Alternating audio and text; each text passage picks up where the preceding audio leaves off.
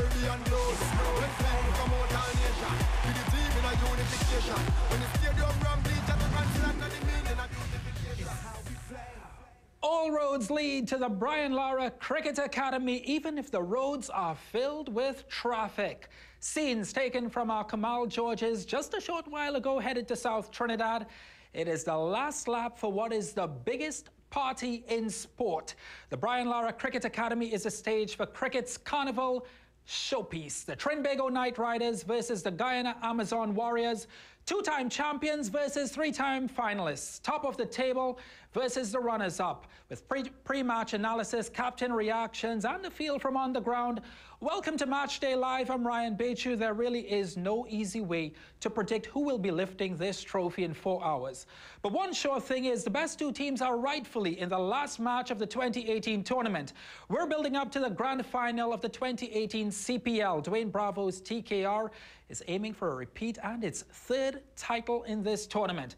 The pre-match press conference took place yesterday morning. Let's take a little listen in of both captains and what they had to say ahead of tonight's final.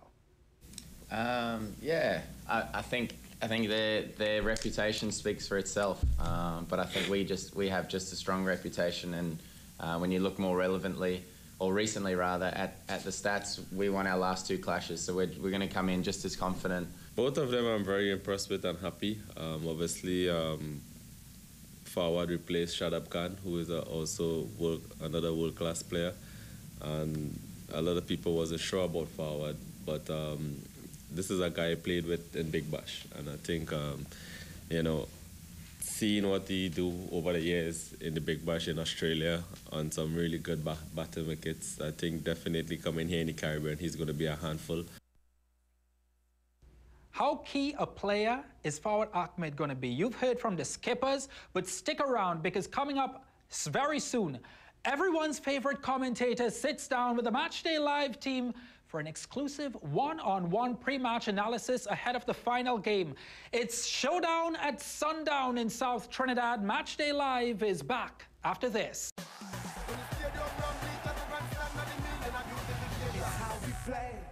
Welcome back to Matchday Live. I'm here for pre-match analysis. It's the final match of the 2018 CPL TKR versus the Guyana Amazon Warriors.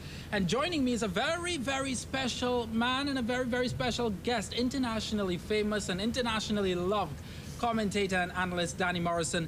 Welcome to the show. Thank you very much for being oh. here. So you see, this is how different this guy is. You don't shake this guy's hand.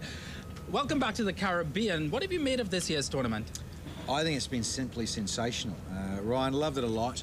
Um, in terms of the cricket that's been played, and you know, it was going five years previous to this, and now it has uh, become a really renowned T20 franchise tournament that's held in such high regard. And the pitches, the pitches, the 22 yards I like to call the players' workbench, very important to get that right. And uh, by and large, um, it's been pretty good, and we've seen some fabulous cricket. TKR versus the Amazon Warriors, the 2018 CPL final. Did you see this? Did you predict this? I think a lot of people possibly didn't think the Warriors would probably get up over TKR in that first playoff, one and two playing each other. But my word, hasn't it turned out to be a bit of deja vu from last year, where TKR had to go through and play both of the, the, the finals, if you like, to get into the finale. So um, yeah, interesting, and I think uh, I think the Warriors at home, particularly in Providence, and that was nice touch too. I think the the playoffs going to Guyana, and then the actual finale back here. So um, don't be surprised, dear Ryan. You heard it first on your show. That what about swapping it for next year? You could actually have the semi and the final in Providence and swap it round and do that. So that wouldn't surprise me either. TKR versus the Amazon Warriors. Who has the edge? Amazon Warriors has had a few more days rest than mm. TKR. Is that going to be a factor? I just ran into um, Johan Botha, coach uh, through breakfast, and he said, look, once we got in there and won on Tuesday, so we're now talking Wednesday, Thursday, Friday, Saturday. It's only four days. And it said it's not like when Barbados got straight in there and they had to wait seven. So when I look at that, and I, I heard that from him, I said, look, I feel I feel the boys in red have got the advantage because when you keep playing and keep ticking along and you have that edge of actually playing rather than just going to the nets and doing it, um, no doubt, I think they have advantage because you're playing here in Trinidad and Tobago. Uh, you're playing at the Lara in terms of the hometown support, all that sort of thing. Um, I, I, I fancy them as more as favourites, but I would, and I'm just going to go totally on a limb here because we love the underdog. We love a new winner. We want a new winner. We want a new winner. So I want the Warriors to win. But the, they do have a, a, a, very strong team that has really gained momentum. TKR had a fantastic run throughout the round robin stages, but Warriors tended to gain that momentum at the crucial times. Do you agree? Yeah, and I think when you look at the balance of their side, um, there's no doubt that you know these two young guns, and how exciting is that? Oh yeah, CPL? Sherfane Rutherford oh. and Shimron Hetmyer. You get the two lefties going healthily, the local guys from Guyana, born and bred, and doing the job as they are. Um, you know, from another perspective, you'd love Luke Ronchi to, you know, suddenly click and gel and, and get his act together for the grand finale. Uh, Delport, you know, Cameron, he's another issue, um, another left-hander. So they've got a wonderful balance of that whole thing of lefty and right-hand combinations. And then when you look a bit further down, um, Chadwick Walton, what a great season last year. He's struggling this season, but he's in a different position. And then, of course, you throw in Imran Tahir uh, and all that experience with Sohail Tanvir. Um, those guys are, are, are very exciting, uh, and the other guys feed off that, you know, and, and they want to do well. Uh, Rayad Emrit, you know, suddenly lost the captaincy, took over from Shoaib Malik, and then he became captain, and it wasn't quite working, and just to concentrate more on his own game. And I think that's been a burden off his shoulders for Rayad. Uh, so, you know, those guys can be match winners. So, what are you looking at this grand final? What would you say would be the thoughts in both dressing rooms, playing on that weakness of the other team? What are those weaknesses that they're going to be talking about? Well, I, I, think in a way that TKR's top order, while they've had a great round robin, as you say, Ryan, they finished first. Uh, they've had a couple of hiccups, but now they've got into the final. Um, and McCullum worked hard uh, in that semi final. He worked really hard, and he said it was quite difficult to get going. Um, Munro, you know, he got to 29 and missed out to carry on. Um, I, I, wonder too, when the players look at it and the teams look at, it, say, are we going to play? Are we going to play on a fresh pitch for the final at Lara? Um, it's a 5 p.m. start, so that's a good thing. I don't think the dew factor comes in so much uh, as it does with an 8 o'clock start. You saw the rags all that, so I think that's fair. I think for a, something like this of a grand finale, you don't want the toss to have a big sway in saying, right, we're going to bowl first because we know the dew factor comes in, ball slides on better, it's harder for the bowlers, ruddy, ruddy, rah.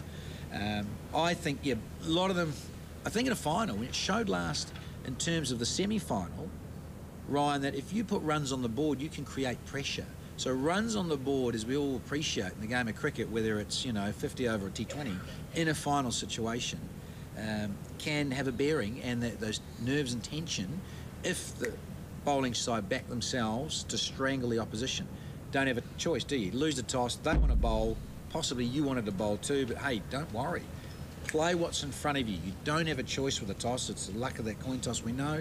Get out and do your thing and adapt. As we all know in T20, you've got to adapt on your feet quickly. So I think the point you make about what are the weaknesses I'll play on, I think both sides know that uh, the top order, they would dearly love to get at least two wickets in the power play possibly three in the power play.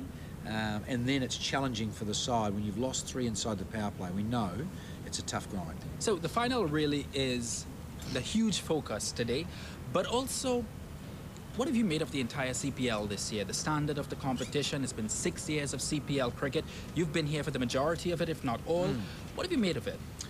I think it's got stronger in terms of uh, the guys of local talent, and it's not just about the superstars of Gayle and Lewis had a great time last year. Walton was the, the, the you know the player of the tournament last year. You know Pollard and, and uh, Johnson Charles and Andre Russell and Darren Sammy Ruddy You can go on. the big names. It's these younger guys coming through, and and that's part of why you have these T20 franchise tournaments, IPL, the PSL, you know, here the CPL, and, and the, the Big Bash in Australia. You want to unearth more homegrown talent. And I think that's been exciting for me uh, massively. And, and when you're moving forward, um, you do really want these young guys to unearth. Because, I mean, Gayle and, you know, and co, Darren Sammy, Radi Radi Ra, can't keep playing forever. We can't. So you know they're going to finish soon. So it's time for more of those guys to be unearthed. Danny, I don't, I don't want to just talk about cricket because this is hugely important because You've got a huge, huge fan base across the Caribbean. You know it. I don't need to tell you that. the Caribbean fans love you. Trinidad, Trinbago Knight Riders fans love you. What's it like for you to come to the Caribbean every year and interact? And because you, more than any other commentator, really, you get down into those stands, you meet the people, Yeah. uh, the people love you, and, and they really appreciate that. Um, and and look for cricket lovers and sports lovers in general. Now watching your show, Ryan, I was very fortunate that my mother came from a, a, a drama and thespian background, so the arts. And so when I was in between playing rugby and a bit of soccer and a bit of cricket, um, I went to a, a, a sort of drama type school, but it was more about pantomime and uh, drama workshops. So I was 11 and 12 and we did pantomime. So it got you out of your comfort zone of being able to express yourself in front of others. And so I think that has boded well for me in terms of doing now post playing stuff and getting out there. Um, I love coming here because it's like nowhere else. It is so unique in terms of the culture with the music uh, and, and the whole thing about the cricket around it and the whole partying thing, the hashtag biggest party in sport. But the cricket's really good too, and that was always the that was always the trade-off. Can this really get serious, and can it be a power base of quality cricket first and foremost, tagged on, if you like, with you know the Trini posse and the dancing and the carnival atmosphere and all of that. And I think it has, and, and it's sort of in a way taken a bit of time to, to bridge that. A bit like you, know, you talk about the IPL powerhouse of Bollywood marries cricket and that whole thing of that. And so you can see that. And this is just another level of dancing, partying, party stand, music, live acts at half time. And, you know, it's, it's a no brainer for me to embrace it. Um, I'm more of an extroverted character, clearly, um, and I like doing what I do. And I'm actually very grateful. And, and as you say, you speak to other guys, humble about it, is that you're very blessed that post cricket, juggling other things in life, that this whole circuit has come about in the last decade. If you had uh, one final message on the final day of the Caribbean Premier League for 2018 to Caribbean fans, what would Danny Morrison tell them? Their favourite commentator. tell. What would you tell them? I say keep loving the game, keep focused, keep coming live. That's the key. Come to it live and experience it all. Get out in the middle and fat it.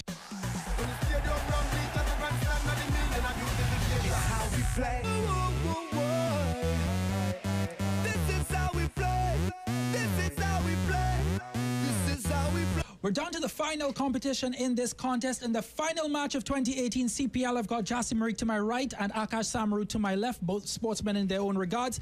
Gentlemen, are you ready? Yes, we are. Yes, very well. Let's go. First question, 30 seconds on the clock, please. One minute on the clock, actually. This Barbados Tridents bowler is the only bowler in this tournament to take five wickets. Who is he, Akash? That's correct. What is the highest margin of victory in this year's tournament, Jassi? Is it a hundred runs? That is correct. Versus the St. Lucia Stars TKR. The T- this TKR batsman has scored the most half centuries in this year's tournament. Who is he, Akash? Colin Munro. That's correct. How many matches have TKR lost in this tournament? Jassi Marie. Four matches. That is correct. The Jamaica Tallawahs won the first CPL tournament, but who did they beat in that 2013 tournament? Guyana Amazon Warriors. That's correct, Akash. Final question. He scored 94 not out against the St. Lucia Stars, and it is the highest individual score for TKR. Judges, who is it? Judges, who is it? Both. Darren Brown. Darren M. Bravo. That, he, got, Michael. he got the Michael, so we're gonna get. It's a tie. It's three by three. This has been uh, slapping sixes on Match Live. Thank you very much for viewing.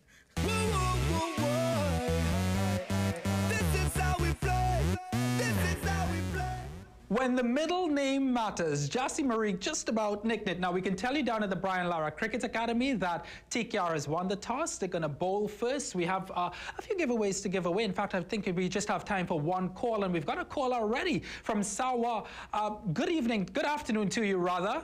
Hi, good afternoon. Congratulations on winning some TKR merchandise. It's a T-shirt and a signed autograph uh, bat from the TKR team. I'm sure that you're backing TKR for this. Do you think we have what it takes to uh, to, to get over the Amazon Warriors in the final? Yes, I think we do. All right, so we're going to be bowling first. How much do you want to be chasing? 200 and something is good. 200. Or How they much can do make you that, I don't know if they, yeah. Well, anyway, I hope it's not 200 uh, plus because that's going to be a really, really tall order. Thank you very much for your call. Thank you very much for all of your calls and all of your interaction during uh, this Match Day Live program. We're going to take a short break. When we come back, we'll be checking out what you've been saying on social media as we build up to the final TKR versus the St. Lucia. Nope, sorry, that's way off. The Guyana Amazon Warriors at the Brian Lara Cricket Academy. We'll be right back. The So